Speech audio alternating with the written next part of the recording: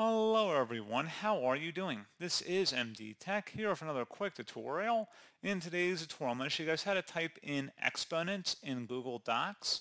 So this should hopefully be a pretty straightforward process here guys, and without further ado, let's go ahead and jump right into it.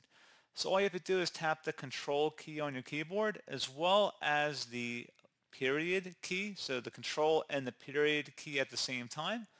And then at this point, you should be able to go ahead and type in the exponent over the formula. As you can see, my font is smaller, so if you had a formula in there, you could go ahead and type the exponent in at that point, whether you're doing a subscript or a superscript. So pretty straightforward process on that, guys. And as always, thank you for watching. I do hope I was able to help you out, and I do look forward to catching you all in the next tutorial. Goodbye.